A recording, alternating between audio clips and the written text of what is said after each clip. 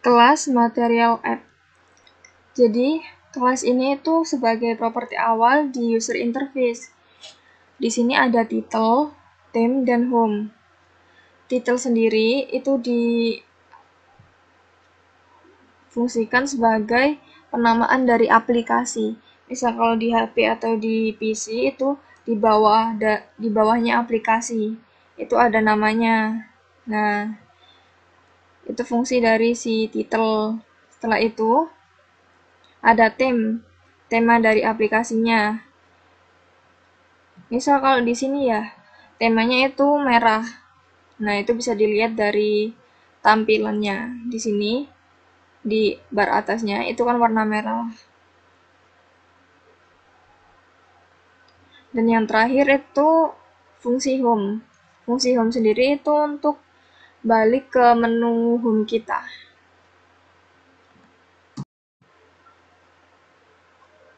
Kelas scaffold.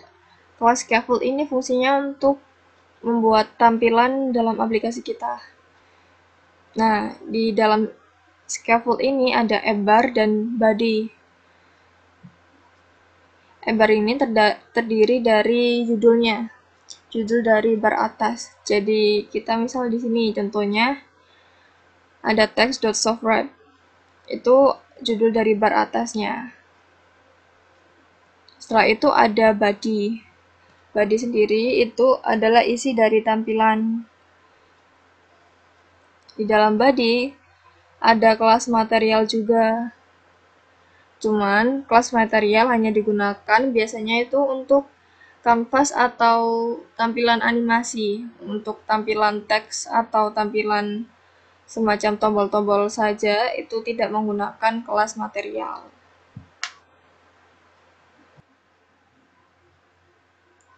Kelas teks.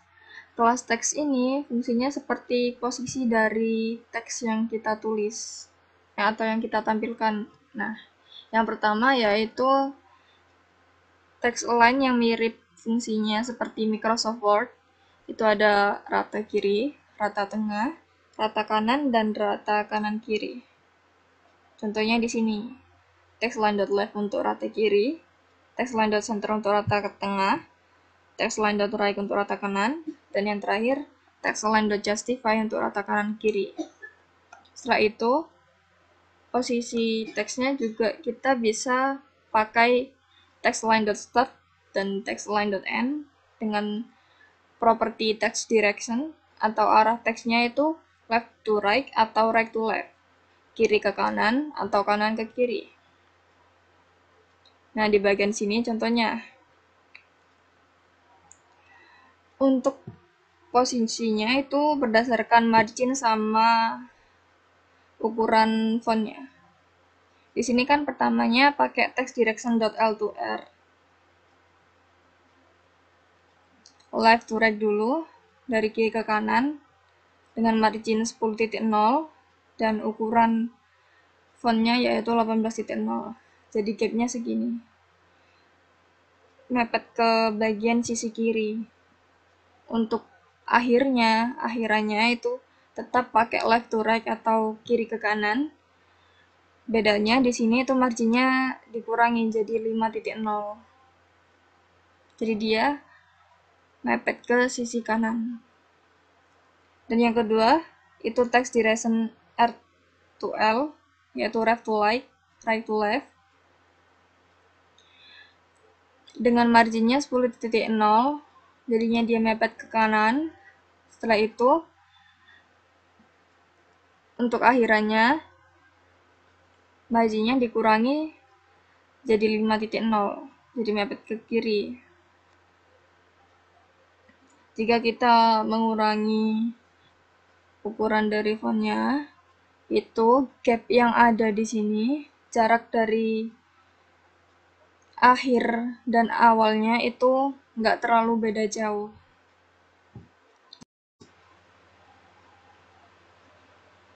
Kelas image. Fungsinya untuk menambahkan gambar dan icon di user interface-nya yang pertama kita lakukan yaitu mengumpulkan gambar-gambar yang akan kita tampilkan, terus menjadikan satu di folder baru. di bagian flat footer footer setelah itu image terus ada folder baru setelah udah terkumpul semua gambarnya di satu folder kita ubah kode konfigurasi di dalam pubspec.yml di bagian setelah assets ini kita tambahin nama-nama dari gambar tadi.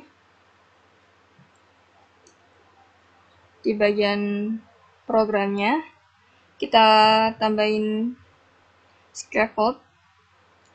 Di bagian body atau isinya ada image.asset asset untuk mengatur dan menambahkan gambarnya. Kita tambahkan ini gambar tadi namanya. Setelah itu ketinggiannya dan fitnya. Divider ini untuk memisahkan gambar satu dengan gambar yang lainnya. Jadi ada jaraknya. Tidak menyatu. Setelah itu ada icon. Sama seperti tadi yaitu nambahkan ke foldernya. Terus mengubah konfigurasinya di pubspec.yml tinggal menambahkan nama-nama dari iconnya kalau di icon ini kita pakai fungsi select image untuk mengu me antara icon yang satu dengan icon lainnya. Jadi di sini ada yang case pertama yaitu gambar Android. Setelah itu yang kedua ada gambar network people. Nah, untuk iconnya itu on press. Actionnya itu pakai on press jadi kita jadi iconnya akan muncul kalau kita tekan di bagian sini. Icon Android. Untuk yang bagian sini yang bagian sebelahnya itu untuk icon yang people matter people itu tadi. Text field text field ini fungsinya untuk memasukkan data yang kita ketikkan atau yang kita masukkan untuk ditampilkan sebagai teks atau sebagai kalimat Contohnya di sini biasanya di Facebook atau di laman lain, di medsos lain itu ada tampilan seperti ini. Selamat pagi, selamat siang, selamat malam dengan nama akun Facebook kalian. Nah, fungsinya text field ini itu mengisi bagian nama sini. Jadi seperti ini. Awalnya kosong, cuman setelah kita isi bagian text field akan muncul teks seperti ini. Di bagian programnya, ini bagian fungsi untuk menampilkan kalimatnya. Nah, .name ini nanti diisi melalui teks field tadi. Nah, ketika nama Anda di sini. Setelah itu, ada tombol next untuk menampilkan kalimat utuh dari kata yang diketikkan. Checkbox. Checkbox ini sering ditemui kalau kita melakukan pilihan gitu. Kan biasanya ada centang di sebelah kiri gini. Terus ada pilihannya di sebelah kanan. Nah, itu guna dari checkbox untuk fungsi pertama kita melist atau memasukkan pilihan-pilihan yang ada. Di sini ada tiga, Java, Python, dan Dart. Terus kita buat fungsinya. Fungsi ini berguna untuk memunculkan tanda centang ini atau tidak ada tanda centangnya. Jadi misal di sini pakai list.selected satu itu nilainya. Nah, jika nilainya itu list.add itu akan memunculkan checklistnya. Kalau nggak ditekan apa-apa, itu akan kosong seperti ini. Nah, setelah kita buat tiga fungsi tadi, kita masuk ke bagian body atau isinya. Ini untuk menampilkan bahasa yang disukai atau judul yang akan kita berikan. Setelah itu, kita pakai row, tiga row untuk tiga pilihan. Di sini value atau nilai itu pakai dot selected satu sama seperti tadi. Nah, ini unchanged full value. Nah, unchanged satu value itu merujuk ke sini, merujuk ke fungsi pertama. Tinggal memasukkan ketiga fungsi itu ke dalam row ini. Nah, setelah memasukkan fungsi-fungsi tadi, kita pakai teks di bahasa untuk menampilkan tulisan di sebelah kanan ini.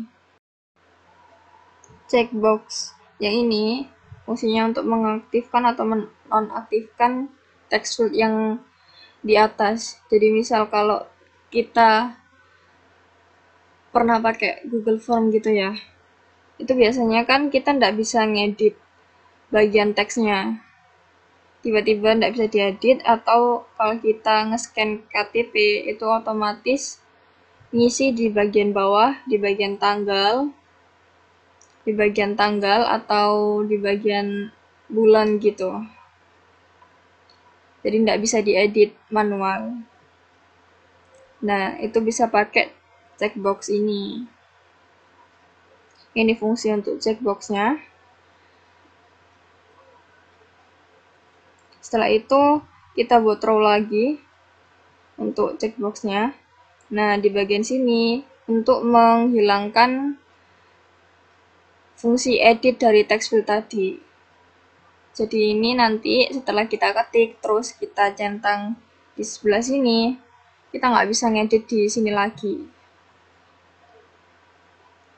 Kalau centangnya dihilangkan, kita bisa ngedit kembali. checkbox list style.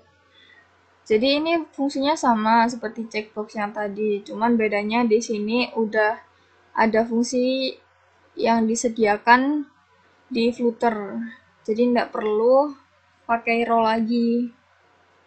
Fungsinya tetap ditulis seperti ini, sama seperti yang tadi. Nah, di bagian sini itu pakai checkbox list style. Jadi tidak perlu pakai row. Fungsinya sama, isinya sama. Bedanya di sini kita bisa menambahkan icon, juga memodifikasi tombol checklistnya. Bisa dikasih warna. Jadi seperti ini. Ini ikonnya, ini namanya, dan ini checklistnya atau checkboxnya. radio. Radio ini tuh sama seperti checkbox, yaitu untuk membuat pilihan. Bedanya di di radio ini hanya diperbolehkan untuk memilih salah satu. Seperti ini, pria atau wanita. Di bagian source code-nya, itu nilainya dimulai atau awalnya min 1 setelah itu, di bagian void unchanged, ini fungsinya untuk mengubah nilai awal min 1 hingga rentang nilai yang ada di sini 88 dan di sini juga 99. Row-nya ada dua dikarenakan pilihannya juga ada dua. Di bagian sini untuk memanggil fungsi yang tadi memakai property unchanged integer value di sini teksnya jadi untuk menulis teks di sebelah kanan di sini teks untuk menulis judulnya.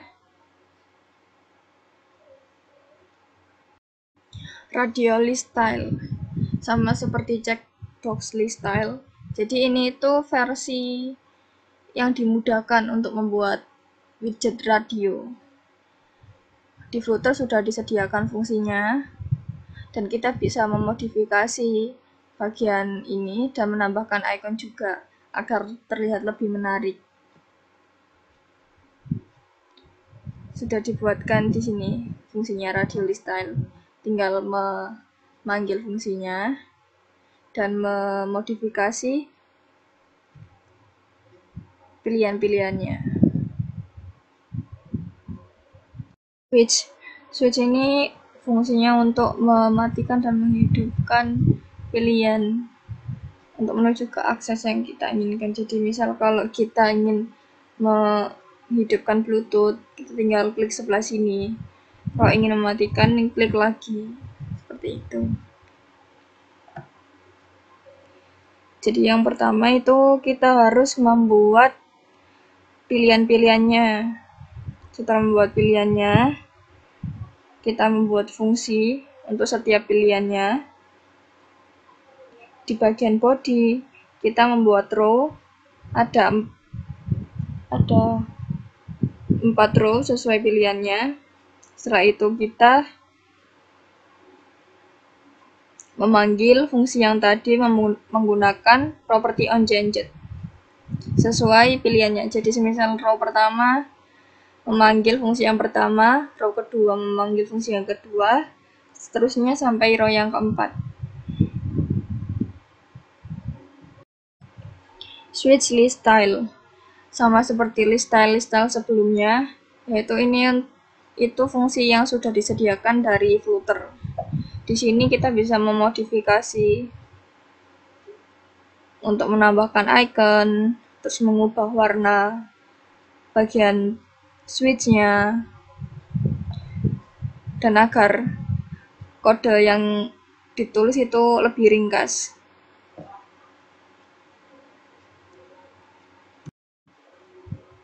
slider.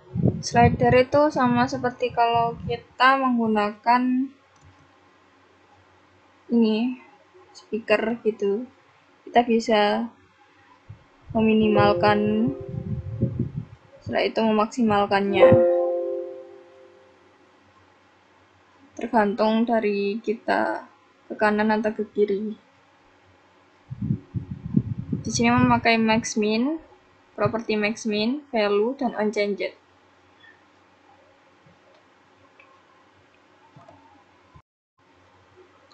Membuat fungsi untuk unchanged-nya terlebih dahulu.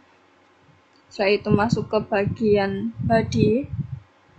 Di bagian body ada teks nilai slider untuk round, yaitu membulatkan nilai slider yang di sini agar tidak ada koma di belakangnya atau tidak desimal minimal nilainya. Biasanya kalau di sebelah kiri bagian kiri itu 0 terus yang terakhir 100 tergantung yang dimasukkan di sini. Setelah sudah baru kita memanggil fungsi yang tadi menggunakan properti onChanged Assalamualaikum warahmatullahi wabarakatuh pada kesempatan kali ini saya akan menjelaskan tentang show dead picker dan juga show time picker. Show dead picker adalah sebuah fungsi yang diberikan atau disediakan oleh Flutter yang digunakan untuk membuat komponen pilihan atau menampilkan tanggal pada layar aplikasi. Sedangkan show time picker adalah sebuah fungsi yang disediakan oleh Flutter yang digunakan untuk membuat komponen pilihan atau menampilkan waktu pada layar aplikasi. Berikut adalah contoh source code implementasi dari Showdate Picker dan juga Showtime Picker. Pada program ini terdapat implementasi dari Showdate Picker. Pada kelas homestate, saya mempunyai variabel selected, selected date dengan tipe data datetime, di mana selected date ini menampung nilai dari datetime.now atau uh, tanggal pada hari ini. Kemudian, saya mempunyai future null underscore selected. Ini adalah sebuah fungsi dengan tipe data future. Fungsi ini digunakan untuk menampung uh, pilihan tanggal yang dipilih oleh user pada saat aplikasi dijalankan. Di sini saya menggunakan fungsi shorted picker untuk mengambil atau menyimpan nilai dari pilihan tanggal yang telah dipilih pada saat aplikasi dijalankan. Kemudian ini ada initial date. Initial date ini digunakan untuk e, menampilkan tanggal pada saat aplikasi dijalankan. Cara gampangnya, initial date itu adalah tanggal aktif hari ini yang ditampilkan pada aplikasi pada saat date picker itu ditampilkan. Kemudian first date ini adalah tanggal pertama atau bulan pertama hmm, yang ditampilkan yang bisa dipilih oleh user pada saat aplikasi dijalankan. Sedangkan last date adalah tanggal atau bulan yang dapat dipilih terakhir oleh user. Kemudian di sini ada pengkondisian if picket. Maksudnya tanggal yang dipilih itu tidak sama dengan 0 dan tanggal yang dipilih itu tidak sama dengan tanggal yang sekarang, tanggal hari ini, maka set state ini dinamis ubah ubah selected date ini menjadi tanggal yang telah dipilih tadi.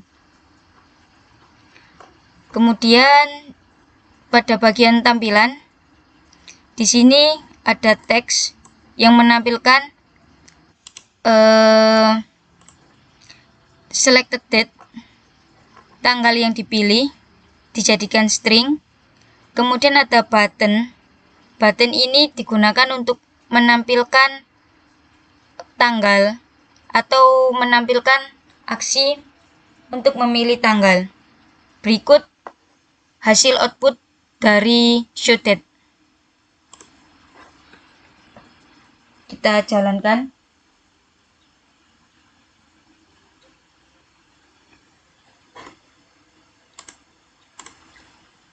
Nah, tampilannya akan seperti ini.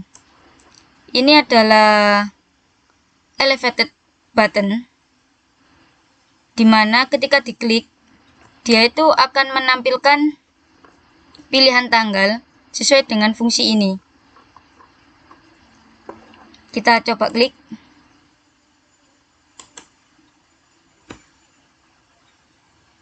Dia akan muncul tanggal seperti ini.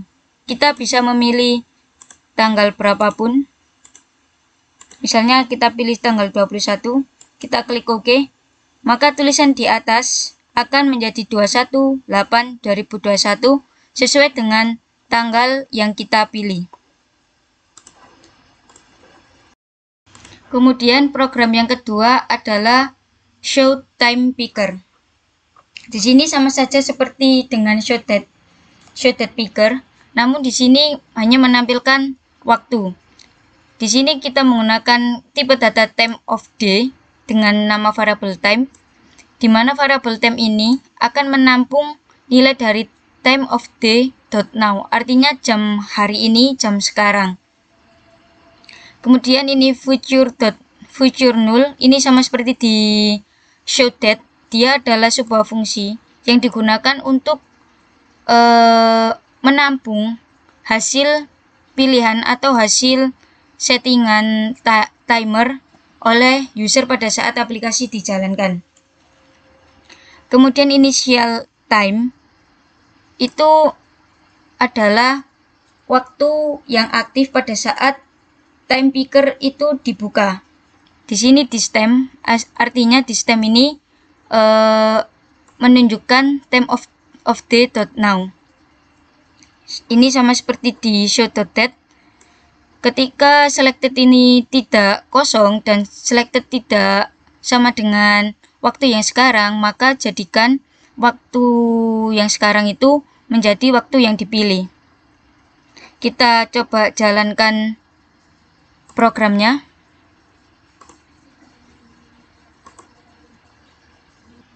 Berikut ini adalah hasil output dari program ini. Waktu yang dipilih. Ketika kita belum memilih waktu maka waktu di setting adalah e, waktu yang sekarang. Namun ketika kita memilih waktu misalnya 20 40 kita klik OK maka waktu akan berganti menjadi 20 40 Reset button adalah button standar yang banyak digunakan. Namun, pada Flutter versi 2.12 ke atas, Raised Button dianggap sudah usang dan digantikan dengan Elevated Button. Properti yang wajib digunakan pada button ini adalah child dan juga onPress. Child biasanya diisi dengan teks, di mana teks tersebut digunakan untuk label dari sebuah button. Kemudian, onPress biasanya diisi dengan aksi apa yang akan dilakukan ketika button tersebut ditekan. Selain child dan onPress, terdapat beberapa properti lain pada kelas RaiseButton yang juga sering digunakan, seperti color, text color, disable color, dan disable text color. Namun, jika kita menggunakan elevated color, terdapat perbedaan untuk menerapkan semua itu. Berikut contoh source code dari implementasi raised button beserta propertinya. Di sini saya mempunyai program. Saya menggunakan import package program filter material ini artinya mengambil semua kelas atau library dari dari material dokter yang ada pada uh, paket Flutter. Kemudian ada void main. Dalam void main ada run app button. Run app ini berfungsi untuk menjalankan atau menampil dan juga menampilkan UI atau user interface yang telah dibuat pada kelas button kemudian ada kelas button kelas button ini adalah kelas turunan dari stateless widget yang artinya uh, kelasnya itu bersifat statis. Setiap kelas yang diturunkan dari stateless widget harus dimodifikasi terhadap metode build. Kemudian ada return material material app. Itu adalah library dari Dart di mana isinya adalah title dan juga home. Itu yang terpenting. Tim tim tema tema data primary switch colors dot like blue. Ini akan memberikan warna uh, terhadap app ini. Terhadap apple warna biru ini. Jika ini diganti warna merah, maka eh, tampilan di sini juga akan berwarna merah. Kemudian home saya beri kelas eh, rumah. Di sini saya membuat kelas rumah, di mana kelas rumah itu adalah turunan dari stateful widget. Maka dia harus dimodifikasi terhadap fungsi create state. Rumah state di sini adalah kelas kedua untuk membuat uh, sebuah kelas tersebut itu state menjadi stateful atau dinamis. Kemudian di sini ada kelas rumah state di mana uh, objek ini sudah dikembalikan ke kelas rumah ini tadi dan sudah menjadi dinamis. Nah, di sini saya menggunakan scaffold beda dengan yang atas menggunakan material app kemudian ada app bar itu judulnya ini. Judulnya ini elevated button kemudian untuk body body itu isi kontennya ini.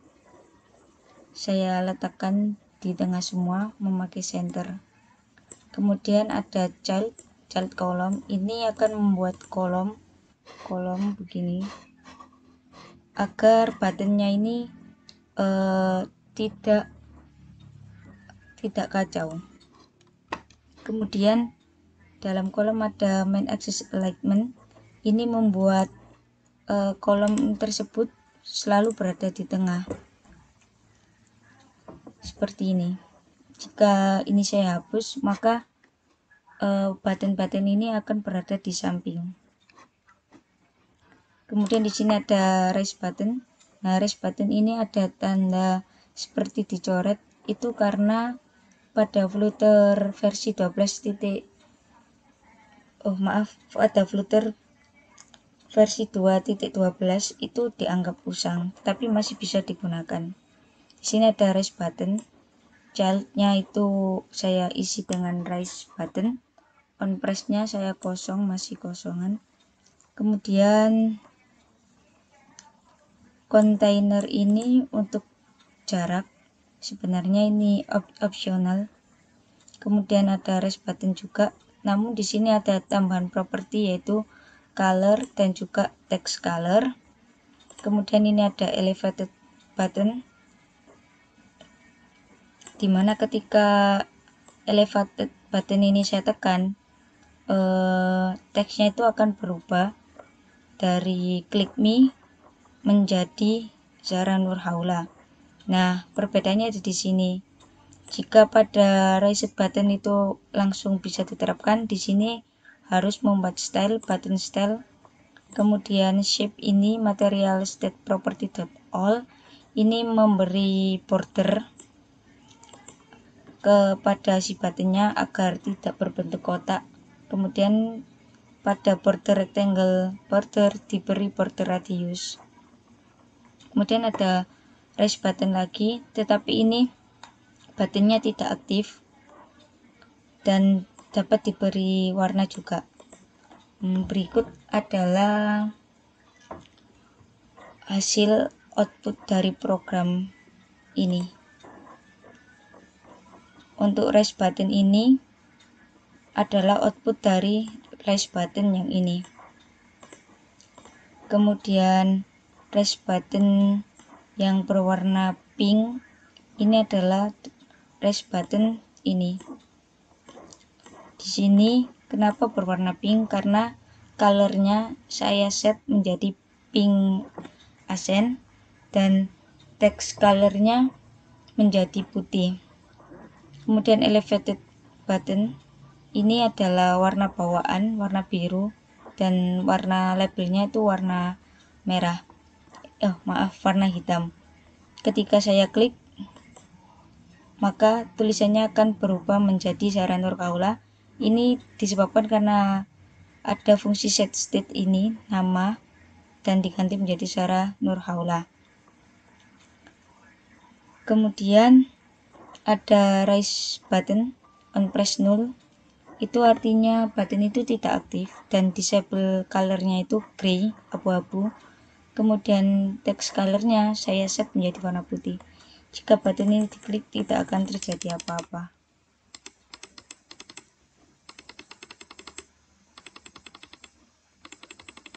Floating action button. Floating action button adalah salah satu komponen yang terdapat pada material desain. Floating action button adalah sebuah tombol e, berbentuk lingkaran yang ditampilkan seolah-olah mengambang pada layar aplikasi. Berikut adalah contoh source code dari implementasi floating action button. Uh, seperti biasa, sebelumnya kita harus mengimport package material.dark terlebih dahulu. Kemudian ada void main, kemudian ada run app my app. Ini berfungsi untuk menampilkan UI atau menjalankan program pertama kali kemudian saya membuat kelas my app yang sebagai turunan sebagai turunan stateless widget. Semua kelas yang diturunkan dari kelas stateless widget itu harus di override atau dimodifikasi dengan menggun eh dimodifikasi uh, dengan metode build. Kemudian saya membuat kelas home itu turunan dari stateful widget seperti biasa. Kemudian home state itu nggak extend state atau home. Pada kelas home state saya mempunyai variabel nama dengan isi masih nol. E, variabel ini akan menampilkan sebuah nama dari masing-masing button. Ketika button di tekan maka akan menghasilkan nama yang berbeda-beda. Kemudian ada override widget build. Di sini saya menggunakan scaffold untuk tampilan halamannya. App barnya saya beri judul demo float floating action button.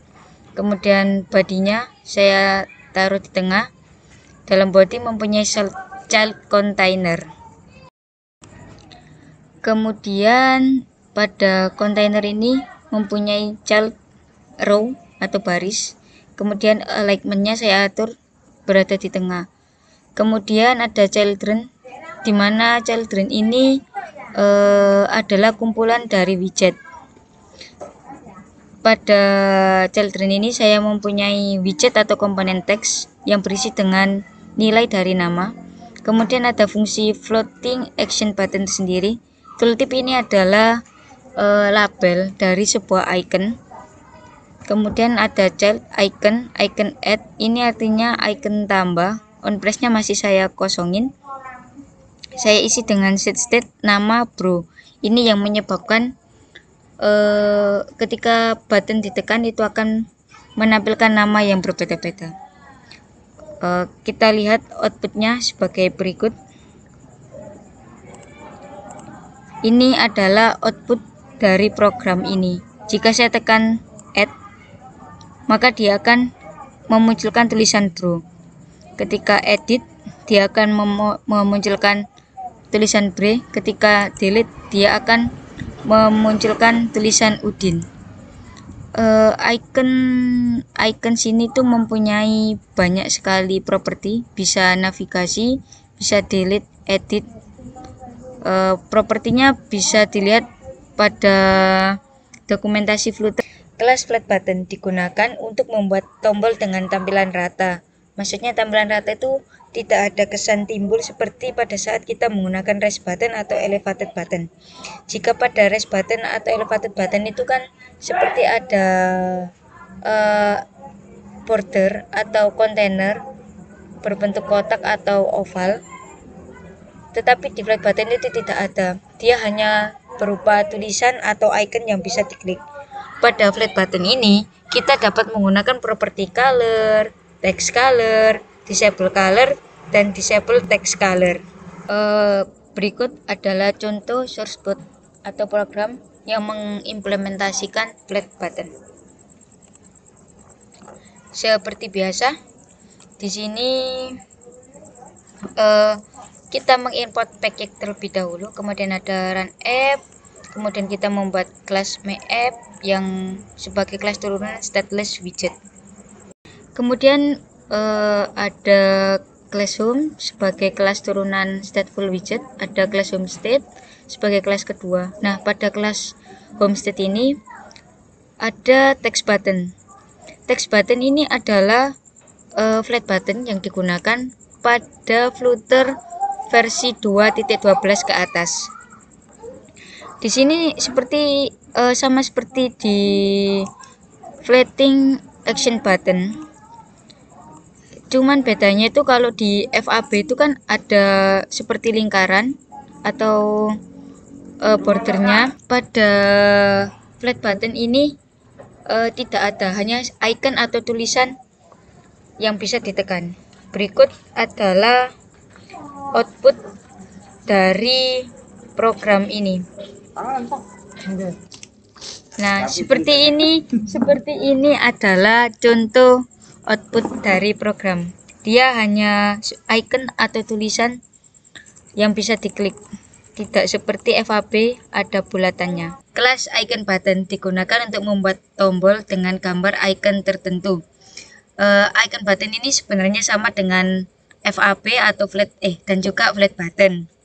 Namun biasanya icon button ini terletak di application bar pada menu halaman scaffold. Berikut contoh dari uh, implementasi icon button. Seperti biasa kita mengimport package terlebih dahulu dari Flutter material dotart. Kemudian kita membuat void main, run app, my app, kemudian membuat class my app di mana class my app adalah kelas turunan dari stateless widget. Kemudian ada class home adalah kelas turunan dari stateful widget. Kemudian ada class homestead untuk menghubungkan uh, stateful widget. Di sini ada app bar, app bar dengan judul demo icon button. Kemudian ada action, yang diisi oleh beberapa widget atau komponen. Di sini ada icon button. Icon button ini pilihannya sama seperti pada FAB dan juga flat button. Kemudian ini ada body dengan tulisan icon button.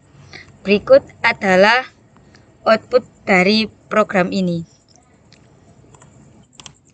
Seperti ini adalah tampilan dari program icon button. Ini adalah icon button add, ini edit, dan ini delete. Kemudian ini adalah body yang terletak di tengah dengan tulisan icon button.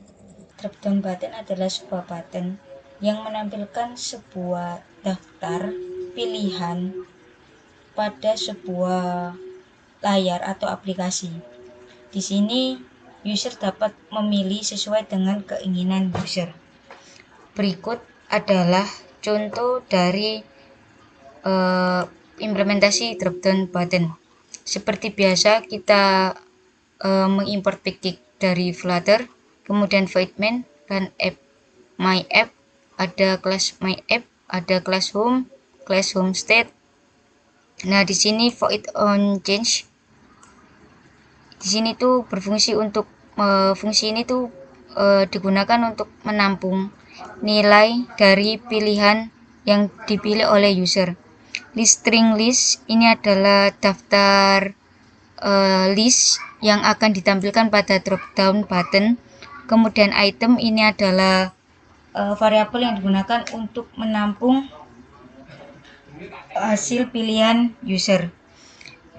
Kemudian di void on change item ini diisi atau di set lagi sesuai dengan value yang dipilih oleh user.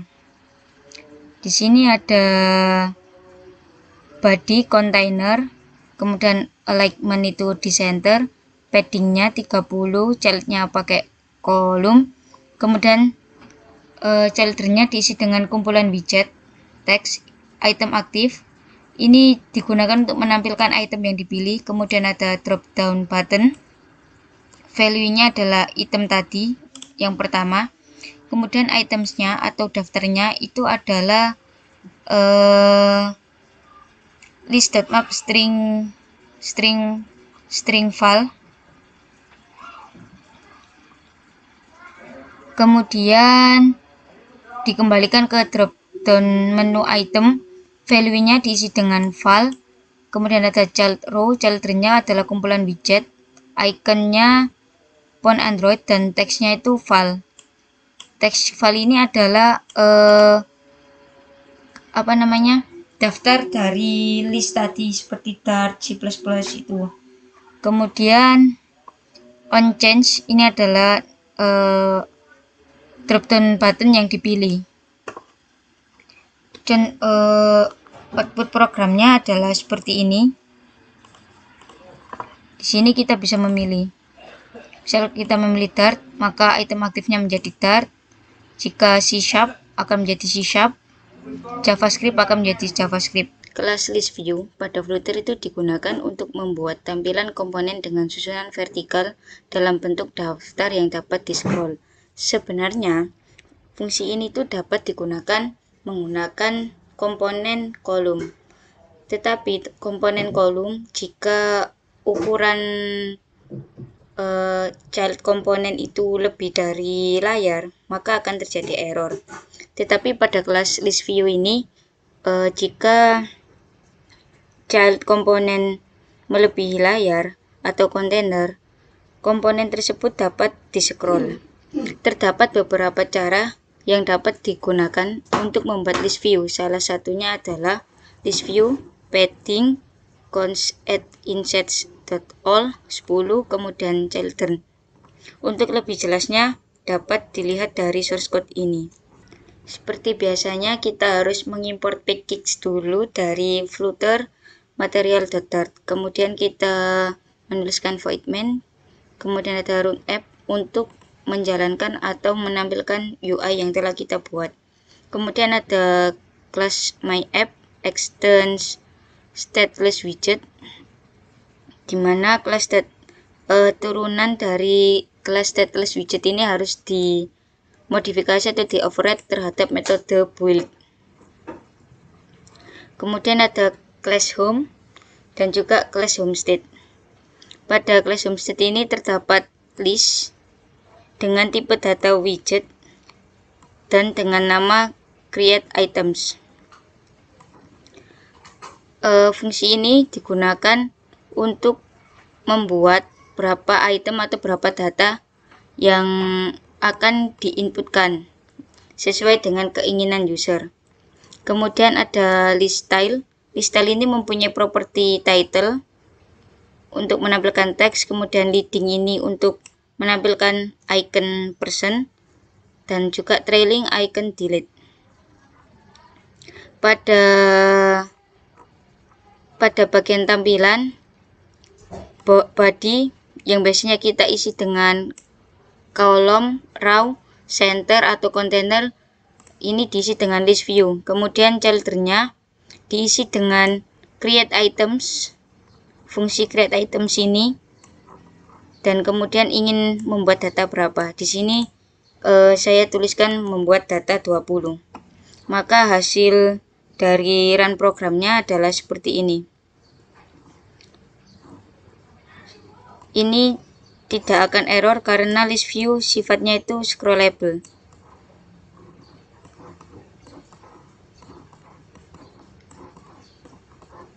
Kelas grid view itu digunakan untuk menampilkan komponen-komponen anak dalam bentuk grid yang terdiri dari baris dan kolom dengan lebar dan tingginya itu masing-masing itu sama. Nah, cara yang paling umum digunakan untuk membuat grid view adalah dengan memanggil konstruktor gridview.count. Kemudian elemen atau item di dalam grid view dapat dibuat menggunakan kelas grid tile. Nah, untuk memperhatikannya, itu siapkan gambar terserah pada subdirektori gambar seperti pada share screen ini. Kemudian pada uh, file pubspec.iaml masukkan assets gambar sesuai dengan nama yang ada pada gambar ini. Kemudian setelah itu baru kita masukkan ke dalam program. Di sini saya mempunyai program seperti biasa, kita mengimport terlebih dahulu package Flutter. Kemudian ada void main, run app, class my app, class home, class homestead, di mana dalam class homestead ini saya mempunyai list yang bertipe data string dengan nama names. Ini tuh nama uh, dari fotonya. Kemudian mengoverride dari widget build. Nah, di sini di body kita menggunakan gridview.con untuk membuat grid view. Cross axis con ini maksudnya itu berapa kolom yang akan kita buat. Di sini saya membuat, membuat tiga kolom. Kemudian list generate. Kemudian ada grid tile. Di sini berisi item-itemnya. Kemudian ada child gesture detector. Ini digunakan untuk uh, memberikan on tap atau mendeteksi gesture on tap, double tap pada uh, gambar yang akan dipilih. Nah, kemudian dalam gesture detector dia mempunyai child container. Kemudian dalam kontainer ada dekorasi, ada decoration itu berguna untuk memberikan dekore, dekorasi. Di sini box decoration boxnya. Kemudian image, image diisi dengan decoration image. Fit box fit fill in artinya gambar itu akan memenuhi boxnya akan stretch gitu. Kemudian image, image ini diisi dengan aset image gambar slash names index ini, index. Ini diambil dari ini names index ke 0, ke 1, ke 2, ke 3, ke 4, ke 5. .jpg ini adalah ekstensi gambarnya. Nah, on tab ini adalah uh, fungsi yang berasal dari gestur detektor. Berikut adalah uh, output dari program ini. Seperti ini. ada tiga kolom. Uh, kelas card itu pada dasarnya itu memiliki konsep dan juga fungsi yang mirip dengan kontainer. Bedanya adalah kelas card itu memiliki bingkai dan juga shadow sehingga tampilannya itu lebih menarik daripada kontainer biasa. Komponen kelas card itu biasanya digunakan untuk membuat elemen pada list view sebagai pengganti dari list style. Nah, kelas card ini tidak mempunyai properti yang namanya on press. Jadi, untuk e, menangani kejadian ini atau kejadian pada saat list view gambar atau card itu ditekan dan melakukan aksi, kita dapat menggunakan yang namanya gesture detector. Gesture detector ini Gesture detector adalah widget dari Flutter di mana dia memiliki fungsi untuk mendeteksi gestur, on tap, double tap, dan semacamnya yang memiliki fungsi yang sama dengan on press. Ini adalah contoh program dari implementasi card. Seperti biasa, kita harus mengimport paket terlebih dahulu, kemudian ada void main, run app my app, ada class my app, ada class home, class homestead. Pada class homestead ini uh, implementasi card dilakukan. Di sini ada init state. Kemudian set state var var i 0 discount itu banyaknya data yang dimasukkan. Di sini 20 kemudian di sini ada return scaffold untuk halamannya app bar, title, text line-nya center, body, body diisi dengan list view builder. Ini sama saja uh, sama seperti list view. Kemudian item count adalah item slang. Item slang itu ini. Sesuai dengan countnya. Kemudian item item buildernya build context dan in index. Kemudian return card. Sini adalah fungsi card atau widget card. Dengan margin add insets dot only.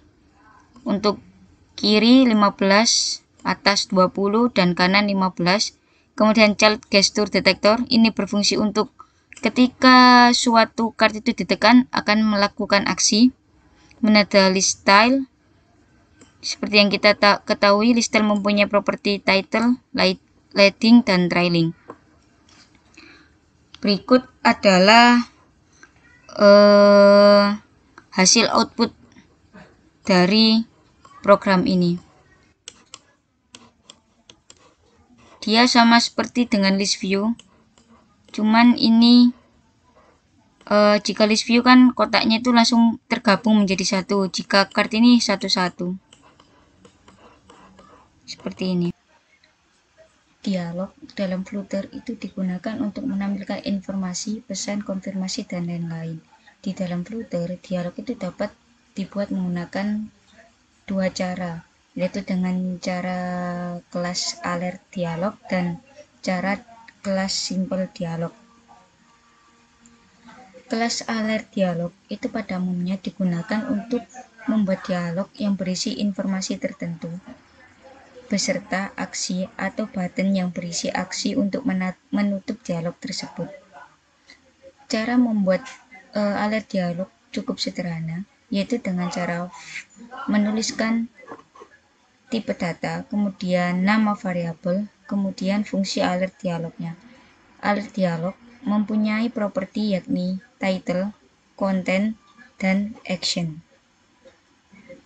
Title ini adalah judul dialog, judul pada kotak pop-upnya kemudian konten adalah informasi maksudnya itu uh, tulisan pada pop-up tersebut kemudian action action itu adalah ketika diklik dia akan melakukan apa kemudian untuk menampilkan uh, alert dialog tersebut kita juga membutuhkan fungsi show dialog fungsi show dialog mempunyai properti yaitu konteks dan juga builder kemudian builder ini e, mengembalikan nilai ke fungsi alert dialog.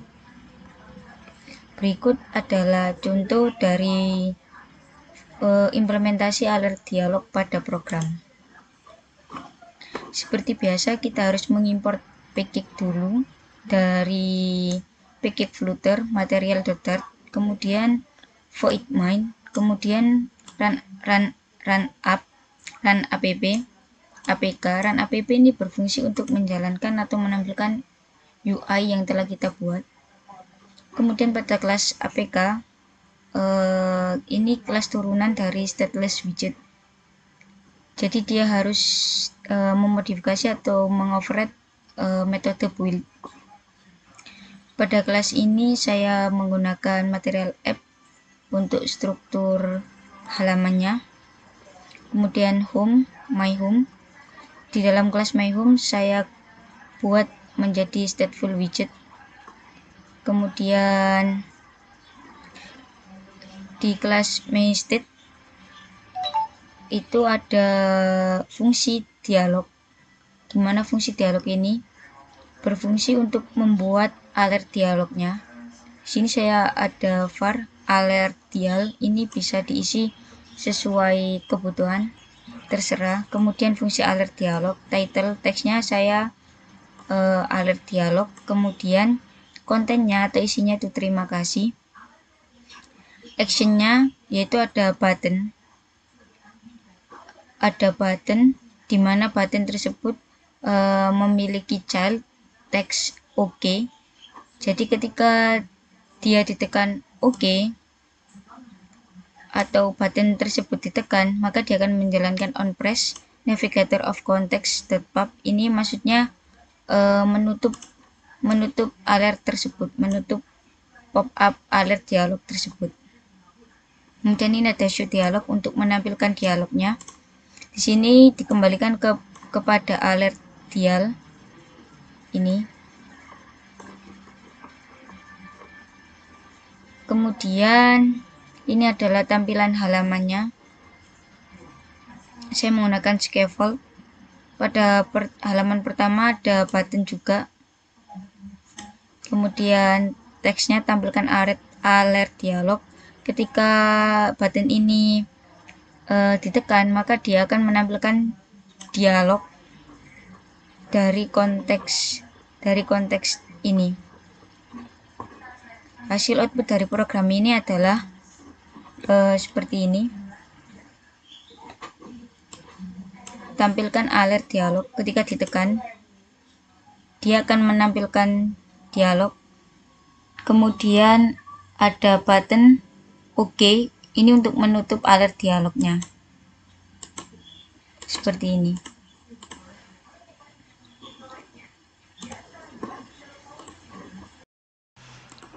E, kemudian ada yang namanya simple dialog. E, simple dialog itu sama saja dengan alert dialog tetapi simple dialog itu uh, untuk pop up yang digunakan untuk uh, mengkonfirmasi atau menampilkan dialog konfirmasi yang membutuhkan jawaban dari user. Nah, dialog ini tuh dibuat dengan simple dialog. Berikut adalah contoh dari uh, simple dialog, program dari simple dialog. saya ini sama seperti tadi hanya saja berbeda. Di sini ada enum answer iya atau tidak. Ini menampung nilai iya atau tidak. Kemudian home state ada variabel answer yang masih diisi kosong dan message kosong. Kemudian set answer ini digunakan untuk uh, mengeset atau men-setting jawaban dari yang diberikan user. Di sini ada string value. Di sini untuk menampung nilai dari user. Kemudian ada feature nil ini adalah tipe data dengan nama confirm. Di sini var simple dialog dia menyimpan uh, simple dialog dengan nama teks konfirmasi. Kemudian di dalam simple dialog ini ada konten isinya itu apakah file akan dihapus? Ini kontennya kalau di alert dialog.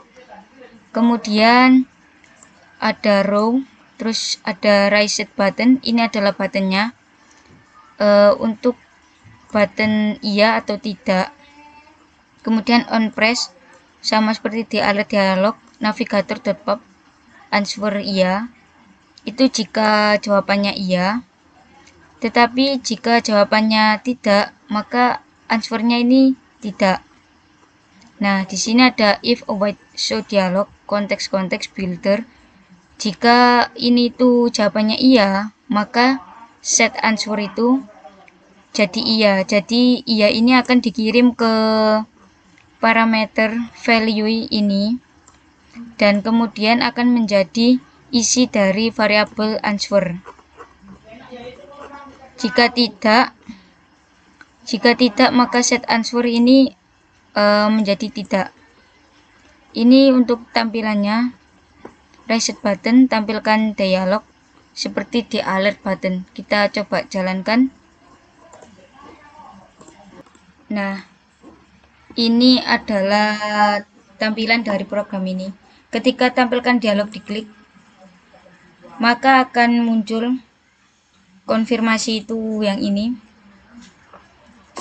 Titlenya, kemudian kontennya itu file akan dihapus, Anda yakin? Jika kita memilih iya, maka dia akan mengeset Anda memilih iya. Ini adalah isi dari message.